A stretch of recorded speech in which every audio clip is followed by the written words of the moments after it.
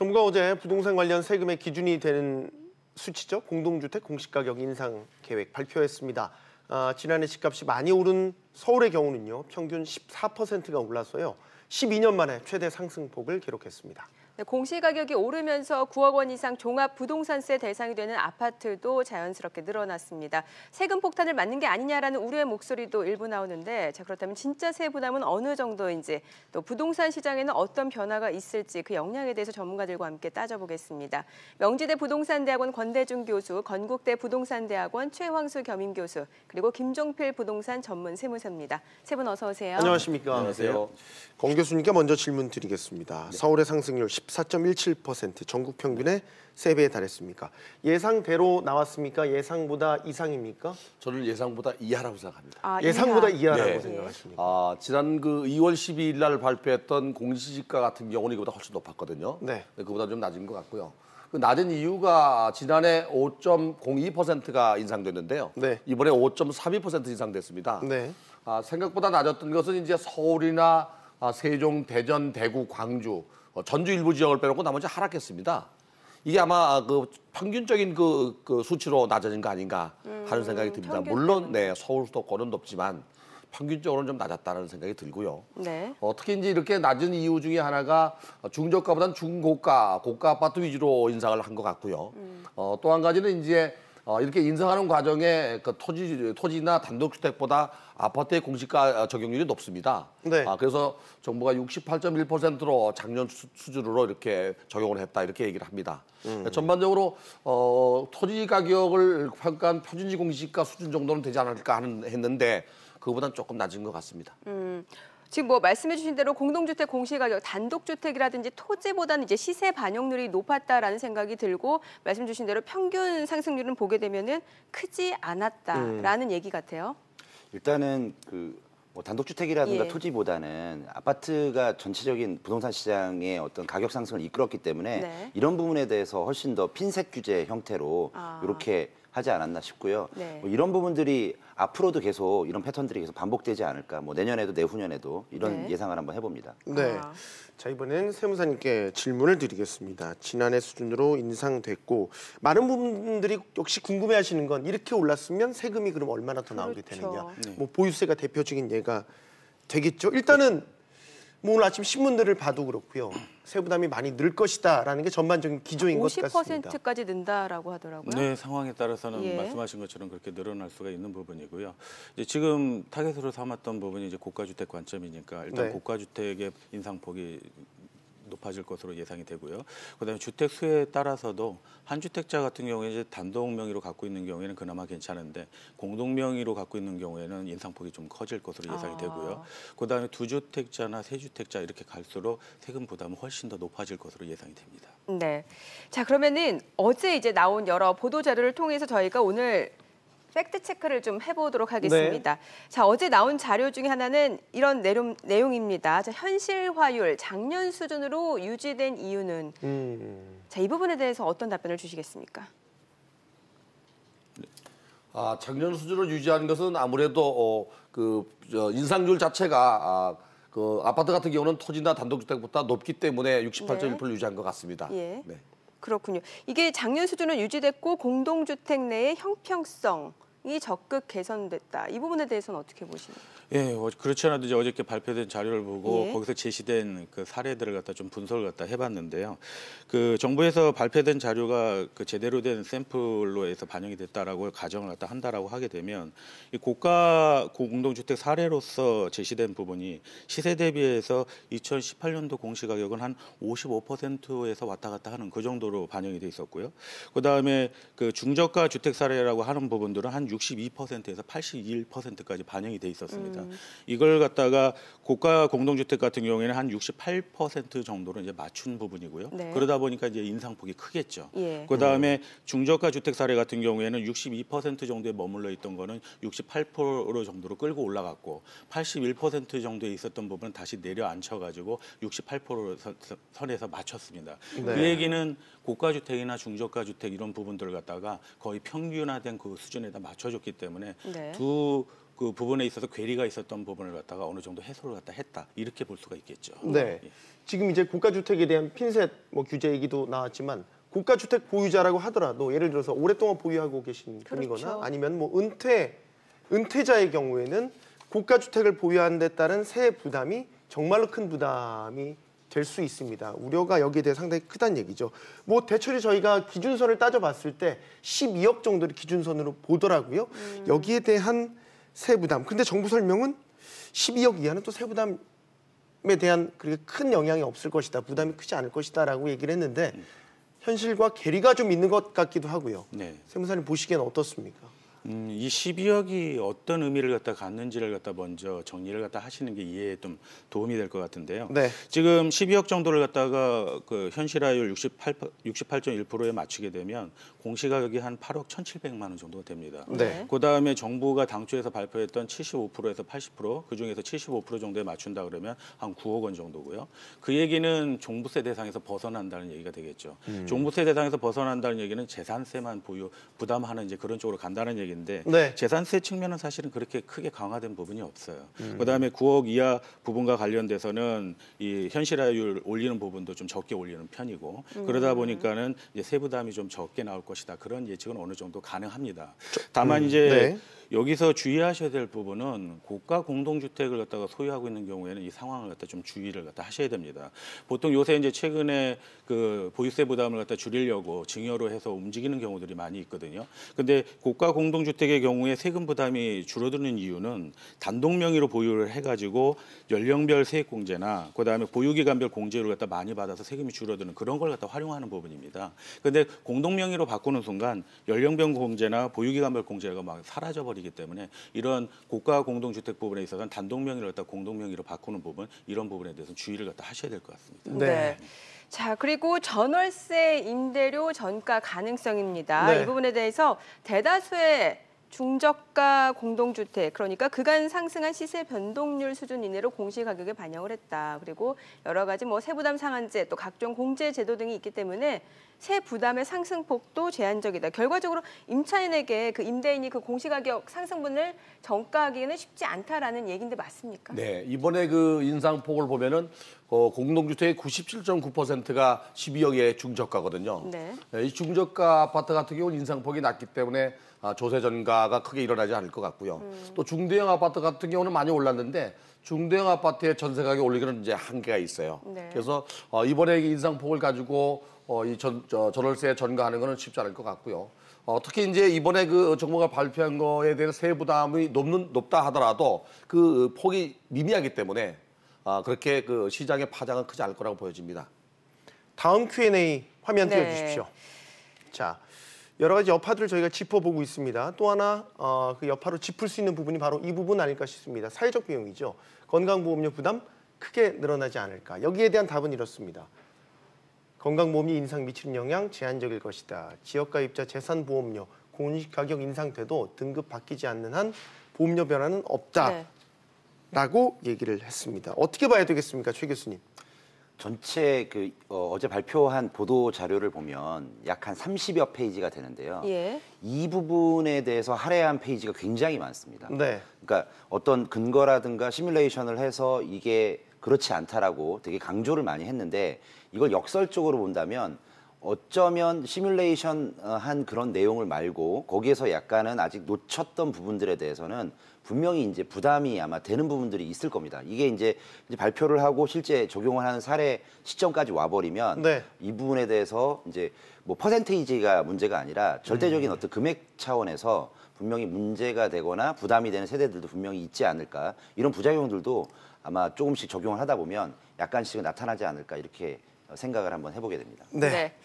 자, 그럼 이제 공시가격 현실화로 인한 부동산 시장 영향, 파장 어, 조금 더 거시적인 차원에서 이번엔 네. 짚어보도록 하겠습니다. 가장 먼저 짚어볼 것 역시 집값에 얼마나 영향을 줄까라는 부분 아니겠습니까, 봉 교수님? 네. 집값에 아, 얼마나 영향을 줄까? 예, 이번에 그 인상폭으로 봐서는 집값에 큰 영향을 주지 않을 거라고 보여집니다. 음. 어, 그렇지 않아도 지금 이제 규제 지역에서는 대출이 지금 막혀 있고요. 그다음에 양도세 중과세도 지금 그 적용되고 있습니다. 네. 어, 여기에 그 세액 부담이 있다고 해서 뭐 가격이 더 떨- 떨어지거나 또는 뭐 거래가 안 되거나 되거나 이러진 않을 것 같아요.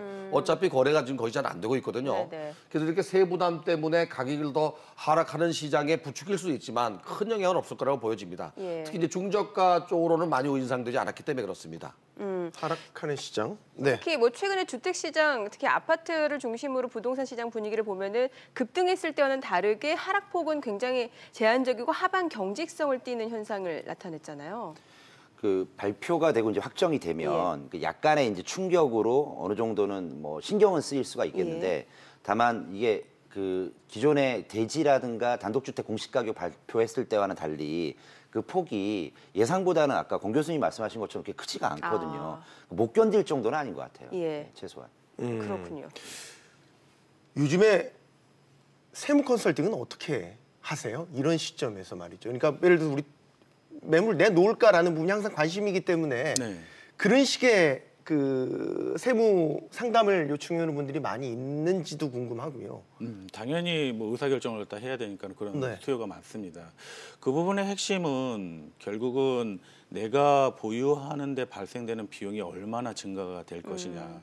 그 부분을 갖다가 내가 보유하면서 끌고 갔을 적에 상쇄시킬 만한 충분한 어떤 수익을 갖다 창출하는 부분이 나올 것이냐. 네. 그래서 그 두 부분을 갖다 결합을 해서 상세를 하게 되면 나한테 이익이 되는 방향이면 당연히 끌고 가는 형태가 될 것이고요. 그렇지 않다라고 하게 되면 시장에 내놓겠다. 이제 이런 부분이 되겠죠. 네. 결국은 내가 증가하는 그 비용 부분을 갖다가 얼마나 상세할 수 있느냐 이게 핵심 포인트가 될 것 같습니다. 네. 예.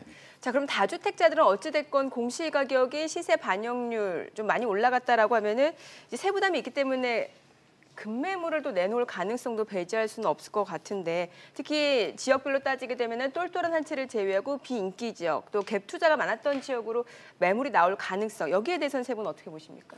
저는 급매물이 나올 가능성은 많지 않다고 생각됩니다. 아, 예. 세부 부담이 뭐 몇 백만 원 정도 더 나오는 거 가지고 몇 억짜리 집을 내놓지는 않을 거라고 보여지고요. 네. 어, 특히 이제 급매물이 만약에 나오려면 이제 다주택자가 내놓을 수 있는데요. 내놔도 어차피 거래가 규제 지역에서 어렵습니다. 대출 자체가 쉽지 않고 어, 또 하나 이제 양도세 중과사가 있기 때문에 아마도 보유하는 쪽으로 가지 않겠나.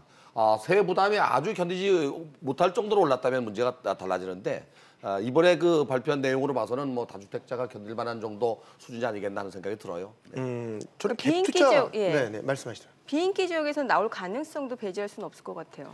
아마 양도 차익이 작거나 그 규제 지역이 아닌 지역들은 예. 그러니까요. 음, 이제 매매하거나 이럴 때 거래하는 그런 비용이 이렇게 크지 않은 지역들은 충분히 출애할 수 있는데 이걸 역, 또 다르게 생각한다면 네.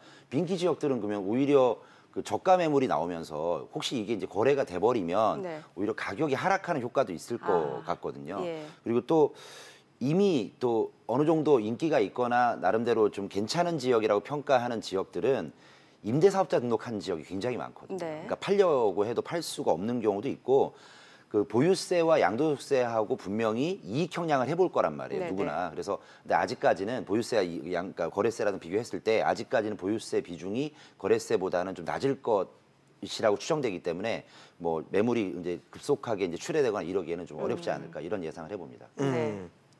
세무사님, 예. 급매물에 대한 네, 금매물 같 컨설팅도 있어요? 많아져요? 뭐 저희가 그 부분을 갖다가 뭐 컨설팅하는 부분은 아니고 네. 결과론적으로 이제 세금적인 측면을 갖다 분석을 해봤을 때 결과론적으로 매도를 해야 되느냐 이제 그런 어떤 판단을 그렇죠. 갖다 해드리는 예. 거죠. 그 저희가 이제 분석을 갖다가 해보게 되면 이 보유세 부담을 갖다가 이제 느끼는 분들도 계실 거고요.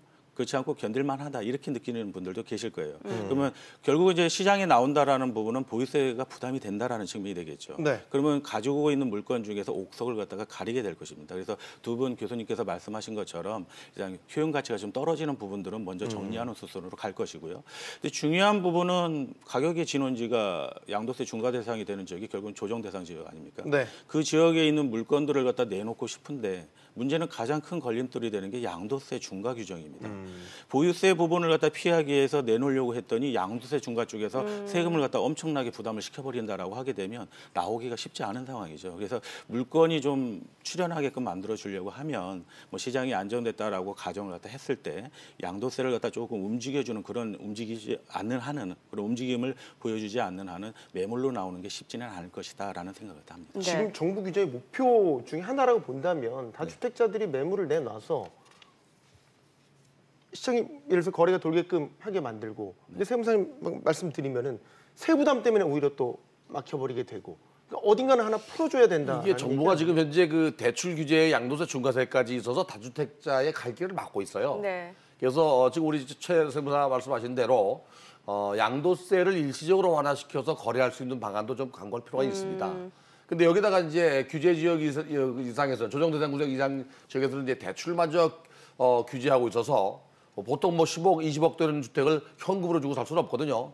그러다 보니까 이 그 다주택자가 집을 내놔도 매도가 안 되겠지만 아, 세액 부담 때문에 내놓지는 않을 거라는 생각이 들어서 정부의 의도대로 다주택자들이 집을 팔아야 되는데 팔지 못하는 그런 환경이 오히려 더 조성되는 거 아닌가 하는 생각이 들어요. 네. 어, 그동안 사실 저희가 또 최 교수님하고도 많이 방송을 했습니다만 최 교수님 입장은 이랬어요. 보유세 강화는 필요하고 대신에 거래세를 낮춰줘야지 부동산 시장에 어떤 온기도 돌고 이렇게 거래 활성화가 된다라고 하셨거든요. 그 얘기를 좀 다시 한번 들어볼게요. 정부가 그 아마 예상하고 있거나 의도하는 것은 그러니까 부동산 가격의 하락을 원하는 것 같지는 않거든요. 원론적으로. 그럼 이제 안정화인데 네. 그 안정화를 위해서는 어느 정도는 세금에 대한 어떤 그런 측면들도 분명히 고려를 할 텐데 그 동안에 있었던 내용들을 보면 우리나라가 이제 보유세, 담세율이 전체 세금 중에서 네. 아직은 이제 9%대밖에 안 되거든요. 그럼 이제 OECD 평균이 이제 12%대니까 아직은 보유세 부담이 좀 어, 낮은 건 사실이고요. 이번에 올렸으니까 약간 뭐 두 자릿수 언저리로 이제 올라갈 수도 있는 경우인데 문제는 우리가 이제 그 보유세를 갖다 OECD 기준으로 해서 global standard에 맞춘다 했을 때도 그렇게 되면은 양도세 같은 경우는 이미 OECD 최고 수준이거든요. 그러면 아까 뭐 어, 잠깐 앵커께서도 말- 말씀하셨지만 기본적으로 매물이 좀 출회가 돼서 네. 이제 저가의 어떤 매물이 소화가 돼서 가격이 낮아지는 어떤 효과가 있으려면 이게 이제 내, 팔수 있도록 만들어줘야 되는데 팔 수 없는 규제도 하고 있다. 그래서 매물의 장기 현상도 있어서 오히려 가격의 가격 측면에서 하방 경직성이 이것 때문에 존재할 수도 있다 이런 생각을 해보게 되거든요. 네. 특히 양도세 인하에 대해서는 거의 정부가 어떤 답을 내놓지 않고 있는 상황 아니겠습니까? 뭐 최근에 약간은 예. 뭐 분위기는 살짝 좀 바뀌는 느낌은 네네네. 들긴 하는데 어, 제 예상이지만 예. 올해 연말 정도까지는 도저히 이걸 갖다가 물러서는 어떤 그런 정책을 피거나 양도세에 대해서요? 예, 검토를 예. 하거나 이러긴 쉽지는 않을 것 같고 아마도 이런 시장들이 조금 더 지속이 되어서 시장이 확실하게 안정해 안정화됐다라는 시그널이 온다면 그때는 이제 양도세라든가 이런 것들을 조금씩 풀어서 특히 이제 푸는 것들도 전면적으로 푼다라는 것은 또 가격 상승에 대한 분명한 우려가 있기 때문에 이제 어떤 조건이라든가 기간이라든가 어떤 주체라든가 이런 걸 따라서 구분을 지어서 어느 정도 양도세를 다 완화를 해줘야 분명히 오히려 저가 매물도 출회가 돼서 뭐 주택을 매, 어, 매수하고자 하는 사람들에 대한 어떤 그 욕구도 어느- 정도는 해소를 해주고 수요 공급을 어느 정도 맞출 수 있지 않을까 이런 생각을 뭐 해보게 됩니다. 네. 그러니까 세금 정책이라는 게 시장이 정상적으로 돌아가게끔 만드는 뭐 예를 들어서 인프라 중에 하나라고 본다면 세무사님 질문 드리려고 적정한 수준이라고 보시는 거예요? 지금 수준이 너무 막연한가요 질문이? 너무 급격한 부담을 주고 있다라고 아, 보여지죠. 예. 뭐 기존에 그 예측했던 부분을 다 훨씬 더 벗어나는 상승 부분이니까 그래서 뭐 저도 최 교수님 말씀하신 것처럼 그런 방향이 맞다라고 생각을 다 합니다. 그래서 보유세 부담은 좀 늘려가는 그런 측면으로 가는 게 맞다라는 부분이고요. 그렇다고 한다면은 반대로 거래세 부분은 부담을 완화시켜 줘야 되겠죠. 그래서 시장이 그 좀 안정이 됐다라는 전제를 갖다 깔았을 적에는 요 양도세 부분을 갖다 좀 줄여줘서 거래는 활성화를 갖다 하고 보유세 부담은 늘리고 이런 측면에 맞추는 게 좋을 것 같습니다. 이 세금이라고 하는 부분은 본연의 역할로 돌아가야 되겠죠. 이 투기 조절 목적이 아니고 정부 재원 조달 목적이기 때문에 네. 그런 측면으로 다시 회귀해야 된다고 봅니다. 그럼 세 분의 의견에 공통된 부분은 보유세 강화는 필요하지만 거래라든지 그 양도세 인하에 대해서는 어느 정도 좀 정부가 퇴로를 열어줘야 된다라는 의견이신 거죠. 네. 그렇군요. 알겠습니다. 자, 그럼 마지막으로 좀 여쭤볼게요. 지금 사실 아파트에 사시는 분들이 아 그러면 내 집, 내가 살고 있는 이 아파트 공시 가격은 얼마나 되지 확인할 수 있는 방법. 이게 언제든지 확인이 가능한 겁니까? 근데 어제부터 확인이 가능하고요. 부동산 공시가격 알림이라는 인터넷 사이트가 있거든요. 네. 거기에서 조회를 할 수 있고 그 안에 들어가 보면 이 두 가지 메뉴로 나누어져 있어요. 그래서 어 2018년까지 1월 1일자, 2018 1월 1일자까지 있는 그 어, 메뉴가 있고요. 그러니까 어제 발표된 것들을 별도로 이렇게 그 메뉴가 만들어 놨거든요. 그래서 그걸 네. 이제 눌러 보면 작년하고 올해하고 이제 저 아마 화면에 나오는데요. 저 메뉴들을 누르면 이제 확인을 할 수가 있습니다. 알겠습니다. 자, 김종필 세무사, 권대중 교수, 최양수 교수와 이야기 나눠봤습니다. 세 분 고맙습니다. 감사합니다. 잘 들었습니다.